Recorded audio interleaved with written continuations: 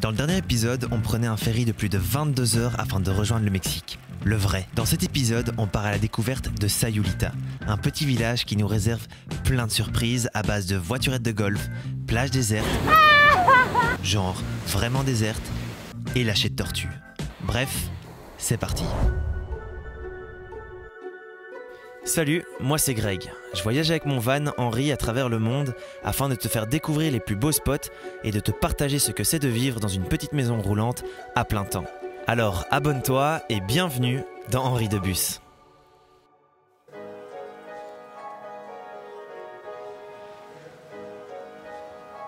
Bienvenue dans une nouvelle vidéo Henri de Bus. On se retrouve à Sayulita, sur la côte ouest du Mexique, là où on s'est quitté dans la vidéo précédente. Faut se l'avouer, on a quand même pas mal profité. L'idée de départ, c'était de simplement aller au Mexique pour rapatrier Henri, mais on a optimisé notre temps afin de pouvoir profiter un maximum sous 30 degrés à côté de plages paradisiaques mais malheureusement, toute bonne chose a une fin. Mais comme tu vas pouvoir le remarquer dans cet épisode, Sayulita nous réserve encore quelques surprises.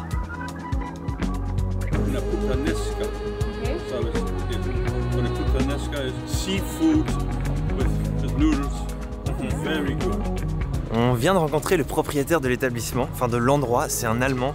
Il est bien sympa, il aime bien parler et il arrive à nous conseiller les meilleures adresses. On a hâte d'essayer.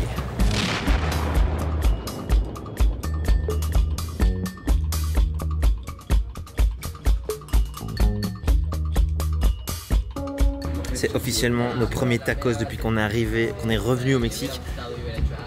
Je dois avouer qu'on est plutôt excités. « 270 pesos en euros. 11 euros et 12 centimes pour tout ce qu'on vient de manger. Ah, quel plaisir! La petite ville de Sayulita dégage une ambiance particulière. Ici, tout le monde se balade en voiturette de golf. On vient de tomber sur Agnès en version mexicaine. Un peu plus abîmée, mais tout aussi stylée. Comme là où on avait garé Henri, c'était exactement dans le plein centre de Sayulita, il était très facile pour nous de se balader tout simplement pour découvrir chaque recoin de cette petite ville.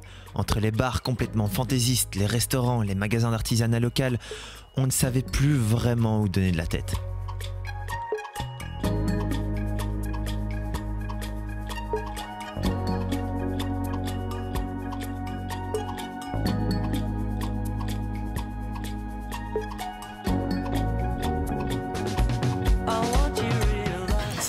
C'est littéralement le paradis. Là, on a l'impression d'être à Bali sans être à Bali, avec Henri, ce qui est complètement bizarre. Tu te demandes qu'est-ce que cette petite partie d'Allemagne, vu qu'Henri vient d'Allemagne, fait ici.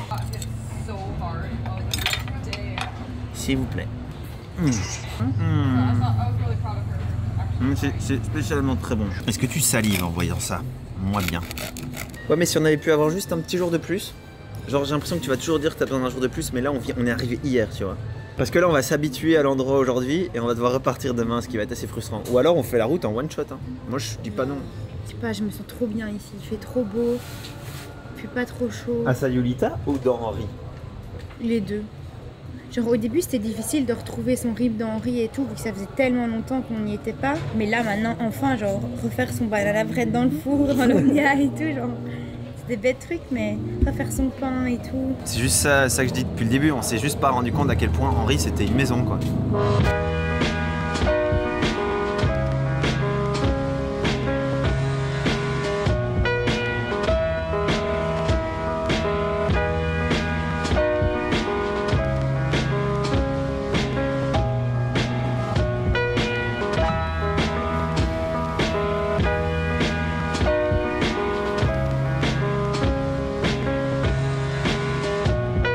Gros l'endroit où on est, c'est un RV park et t'as littéralement des, des gros RV qui sont là et ils ont bétonné autour des salons, des terrasses et tout, donc c'est clair ils bougeront plus jamais.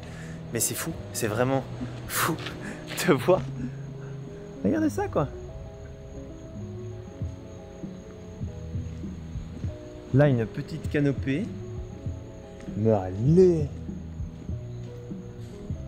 Waouh Waouh Where is Josette? Ah yes Il y a le van de Benjamin, de Josette the Van, qui est caché ici, bien au chaud. voilà Josette Trop mignonne. Ben il voyage avec Josette et maintenant il a un T3 synchro Doka en Europe. Et là il est aux États-Unis en train de bosser et Josette, son van du continent américain, l'attend patiemment ici.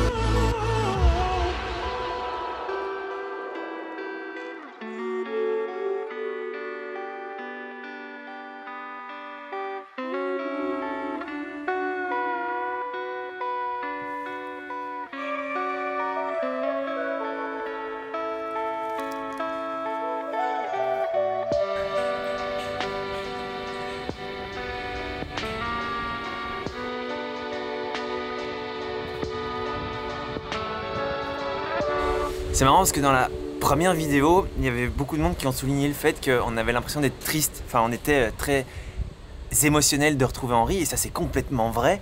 Mais on n'est vraiment pas triste de le quitter parce que c'est comme si on était triste de vouloir passer à la prochaine étape. Alors que clairement, le Capitaine Oscar, c'est une nouvelle page qui se tourne. Il faut bien se rendre compte que si on a réussi à se mettre aussi bien avec Henri, à faire autant d'aventures avec Henri, eh ben imagine juste deux secondes ce que ça peut être avec le Capitaine Oscar.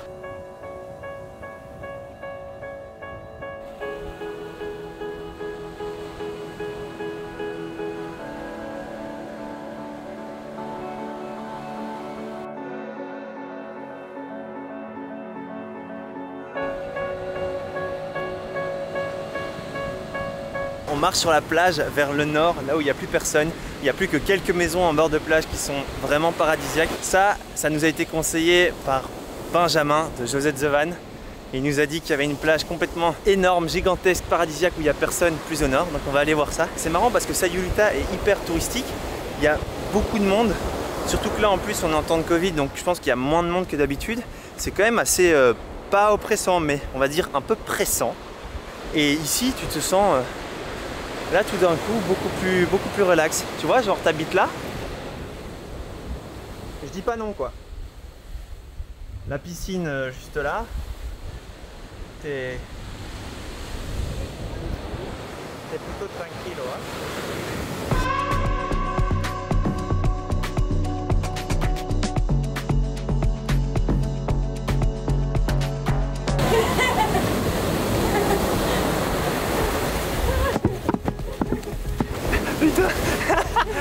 Je suis sûr que c'était par en haut qu'il fallait aller. Hein.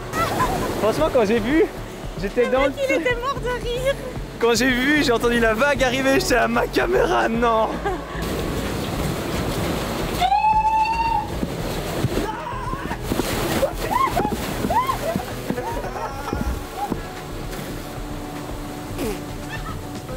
Oh non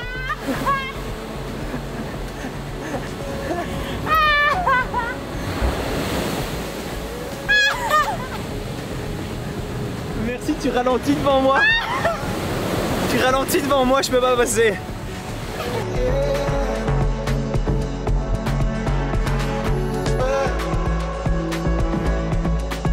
Je comprends mieux ce que Ben nous voulait nous dire pour une plage gigantesque où t'es tout seul. Je pense que je pense qu'on y est. C'est marrant parce que quand on arrive dans un endroit et qu'on y reste plusieurs nuits, on a toujours la même réflexion. Quand on arrive, on n'a pas l'impression qu'il y a énormément de choses à faire, mais à force de découvrir les alentours, de faire des rencontres sur place, on découvre les quelques activités, les quelques randonnées les joyaux à découvrir dans les alentours. Et c'est vrai qu'on n'avait pas vraiment envie de partir parce qu'on savait qu'on aurait pu encore rester deux, voire trois jours de plus pour découvrir la plage pas loin qui héberge un ancien cimetière sur son bord ou encore gravir la Monkey Mountains qui est une balade très réputée dans le coin.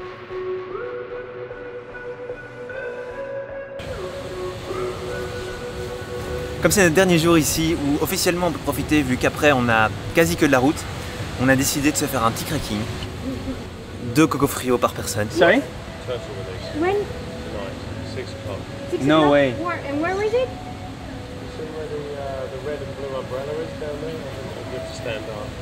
Là on est en train de se mettre le, le plus gros kiff de toute la Terre, deux coconuts par personne. Petit craquage après cette randonnée qui était assez longue. Et on vient de se rendre compte, il y a un gars qui vient de nous dire qu'en gros il fait du volontariat dans un refuge où... C'est pas un refuge mais c'est un endroit où il récupère les œufs de tortue pour les remettre à la mer de manière safe j'imagine. Et apparemment il y a un lâcher de bébés tortues ce soir sur la plage à 6h. Donc on va aller voir ça. J'ai hâte parce que c'était un de mes plus grands rêves en arrivant en Basse-Californie. Il y a pas mal d'endroits où ils font ça en Basse-Californie dans le sud.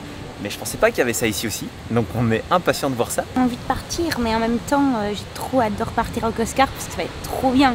Ça va être encore mieux. On aura une nouvelle maison pensée en fonction de nos besoins, donc ce sera trop bien pour y vivre. Ce petit voyage avec Henri, on s'est encore plus rendu compte à quel point le van c'était vraiment notre maison et que là, ben, ces derniers mois, ça a été difficile parce qu'on n'avait pas vraiment de maison où on se sentait ben, chez nous. Et là, de retourner dans Henri, de reprendre ses habitudes et tout, ça nous donne encore plus de motivation, d'excitation de rentrer en Belgique, de finir Oscar et de repartir avec lui et de retrouver ce sentiment de bien-être et d'être chez soi n'importe où. Que chaque fois qu'on rentre, toujours avoir ce sentiment de retourner chez soi, n'importe où que ce soit. Donc c'est trop bien et, euh, c'est vraiment ça qui nous manque. Et, euh, et avoir du soleil H24 Et des, et des coconuts. palmiers Et des et des coconuts. Surtout des coconuts. Ici, on a l'impression que le Covid n'existe pas. Non pas parce que personne ne respecte les règles, mais bien parce que la situation est bien différente comparée à l'Europe. Tu vois, le décalage avec l'Europe, la deuxième vague, tout ça, tout ça. Je vais pas rentrer dans les détails, mais je dirais que la différence principale ici, c'est la mentalité des gens.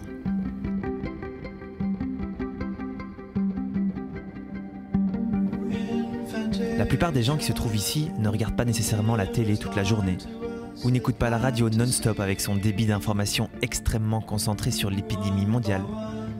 Forcément, le fait qu'il fasse 30 degrés, ça facilite un peu les choses. Tout le monde se balade en vélo, à pied, sur la plage. Les gens surfent, discutent, font du paddle ou se reposent tout simplement devant leur véhicule aménagé respectif. Et cette ambiance générale est très apaisante et on ressent vraiment fort ici qu'il n'y a pas vraiment de tension et de stress. Et même si l'épidémie est sûrement bien présente, les gens font chacun, en fonction de leurs convictions bien sûr, attention aux gestes barrières. Mais ça, j'ai envie de dire, c'est encore un autre débat.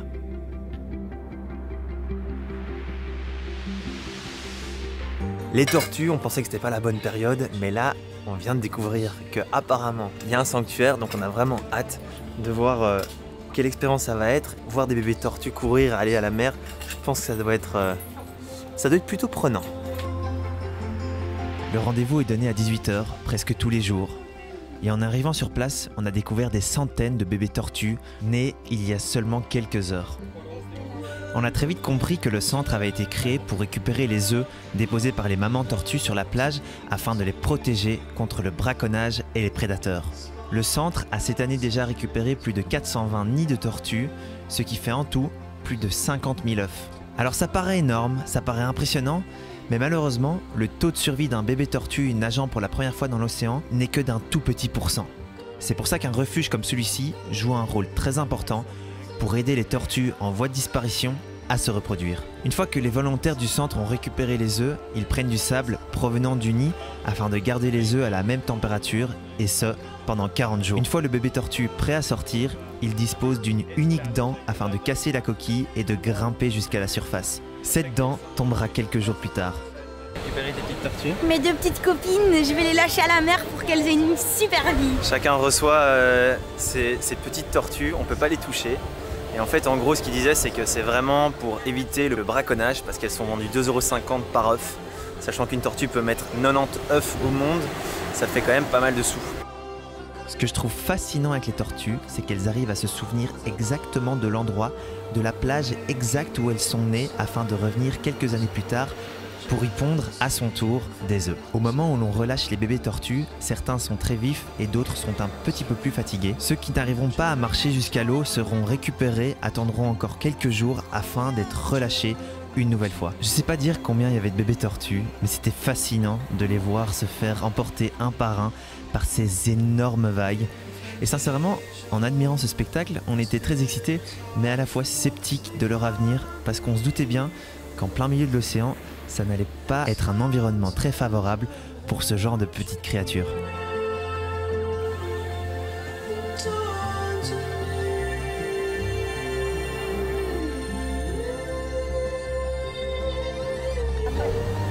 Oh, elle est partie. Elle est partie. C'est bien, elle est partie, tu dois être contente. Mais oui, mais elles sont tellement petites, tu crois qu'elles vont survivre?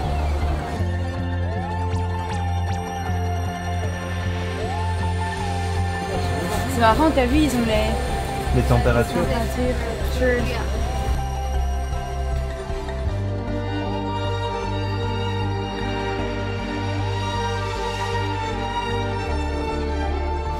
Alors en gros ici on est dans une couveuse entre guillemets. En fait il faut récolter des dons pour pouvoir construire un plus grand abri afin de pouvoir sauver un maximum de tortues du braconnage, ce qui est quand même pas mal, sachant qu'en plus le taux de réussite des tortues qui passent du sable jusqu'à la mer est pas énorme. Donc c'est pour ça qu'il faut beaucoup les aider, parce qu'en gros c'est une espèce en voie de disparition.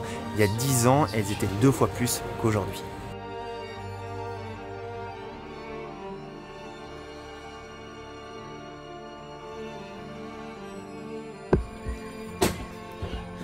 Et voilà, c'est officiellement notre dernier jour ici. On va littéralement traverser tout le Mexique d'ouest en est. On a 1000 km, donc c'est pas énorme. C'est normalement 14 heures de route. On va prendre les péages, les autoroutes parce que c'est plus sécur, c'est plus rapide. Et au moins, on se casse pas la tête. Là, pour l'instant, on veut juste rapatrier Henri et on va limiter les risques le plus possible. Et c'est ainsi qu'on a pris la route pour traverser le Mexique. Et je t'avoue, j'avais pas prévu de faire ça, mais je vais devoir arrêter la vidéo parce que malheureusement pour nous, les choses ne se sont vraiment pas passées comme prévu. Donc je vais t'en parler en détail dans la prochaine vidéo parce que ça mérite quelques explications. N'oublie pas de t'abonner et d'activer la notification, c'est hyper important. Et sur ce, comme d'habitude, je peux te dire à la semaine prochaine, à plus dans le bus. Ciao